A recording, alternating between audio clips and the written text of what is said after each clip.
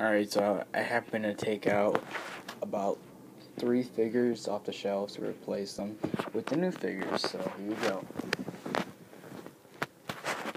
So I happen to put all three members of the Shield. Yes, I have all three members of the Shield now. I happen to put them all next to each other. There's Ambrose, there's Rollins, Briefcase, Roman Reigns. There's Daniel Bryan, John Cena. So yes, I put I happen to put all three of them next to each other, which was cool in order for me to put Luke Harper and Eric Rowan back, I had to take out, you can see, I had to move this over.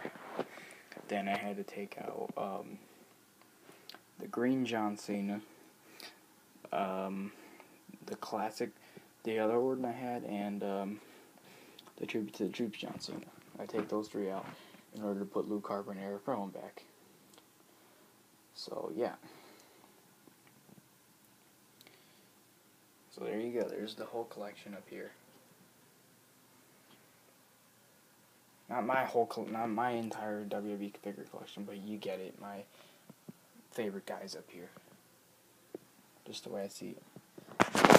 Three newest guys right there. Roman Reigns, Daniel Bryan, John Cena. Thank you guys for watching.